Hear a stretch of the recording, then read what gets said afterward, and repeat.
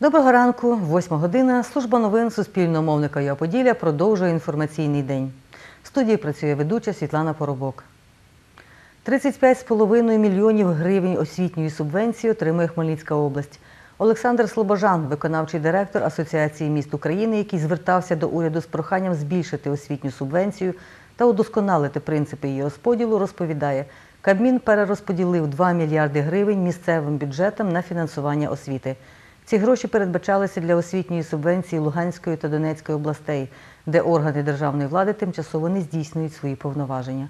Хмельницька область отримає 35 мільйонів 534 тисячі гривень, за які мають купити шкільні автобуси, 21 мільйон 640 тисяч виділять на закупівлю шкільного транспорту для дітей з особливими освітніми потребами. За 13 мільйонів 304 тисячі планують придбати харчоблоки для їдалень закладів загальної середньої освіти.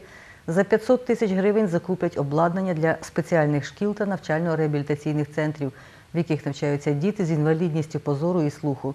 Олександр Слобожан додає, освітню субвенцію обласні адміністрації мають розподілити в першому кварталі 2020 року. Двох водіїв з ознаками алкогольного сп'яніння виявили вночі патрульні поліцейські в Хмельницькому. Старший інспектор патрульної поліції в області Людмила Чернелевська розповідає, дорожньо-транспортних пригод в обласному центрі та на обох автодорогах, які обслуговує патрульна поліція Н-03 Житомир Чернівці та М-12 Стрийзнам'янка, не було. У Хмельницькому на службу 102 надійшло 67 викликів.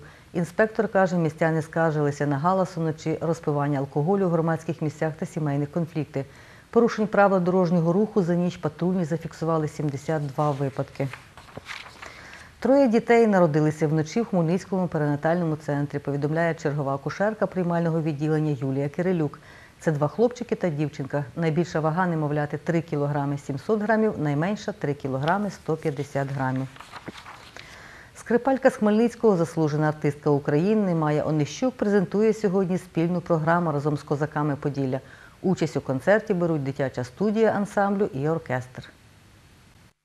У нас буде програма балет і скрипка.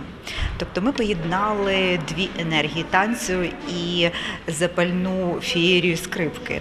Тому буде е, різнобарв'я танців України різних регіонів, не тільки Поділля, і так само е, будуть мелодії не тільки українські, а й румунські, молдавські, угорські, тому що у нас на Україні теж живуть ці національності.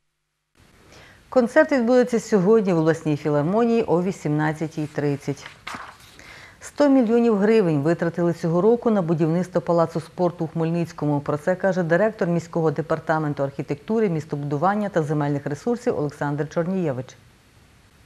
В цьому році ми освоїли державну субвенцію 54 мільйони. Також було надано нам ще державну субвенцію 27 мільйонів, яка фактично вже майже вся надійшла в цьому році. Залишилась тільки за грудень частину, яка має надійти найближчими днями.